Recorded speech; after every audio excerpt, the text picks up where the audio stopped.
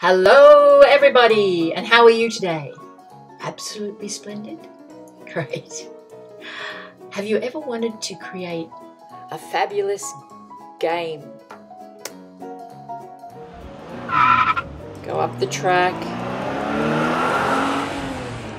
Whoop, Get to the corner, turn around. Go forward. Fire, fire, fire. Oh, fire. Have you ever wanted to create a Merge Cube app? Yeah. Your own party app?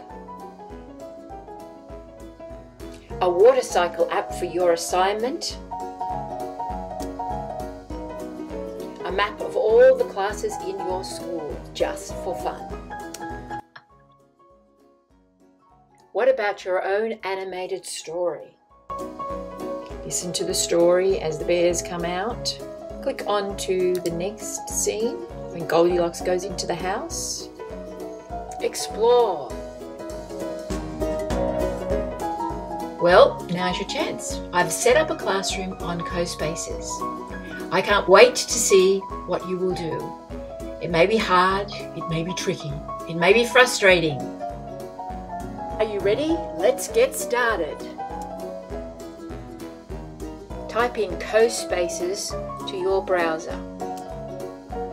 Click on the CoSpaces Edu app. We're going to click on Register. Click on Student. Your code is available from your teacher. She can get it from CoSpaces. Enter the code and click Continue. Type your name in here. Charlie M. Then add your class to the end. 56P. Your username you can make up as you wish. Um, I will put Charlie123 and your password as you wish as well. Charlie 007. Then click Create My Account. The username is already taken. Maybe Charlie456 will work. It will launch you into the space that I've created for everyone. And I want you to click on Create CoSpaces. And I'd like you to do the Welcome to CoSpaces template first. Read the instructions. It says go through the template, check out all the things you can do as you're reading through, or you can go to the URL here and watch a video. Just copy and paste it into your browser. If you go straight to CoSpaces, you can follow the instructions here. It says rotate your view by clicking and dragging. There we go.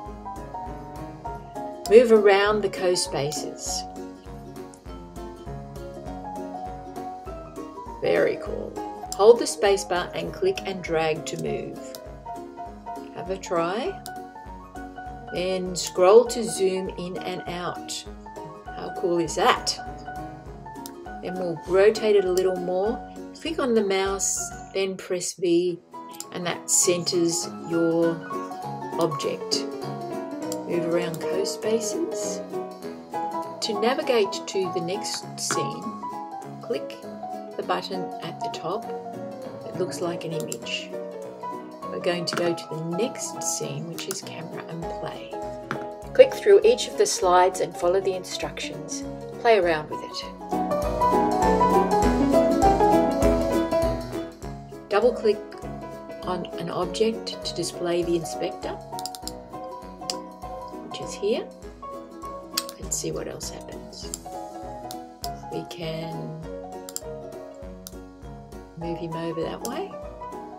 We can rotate him.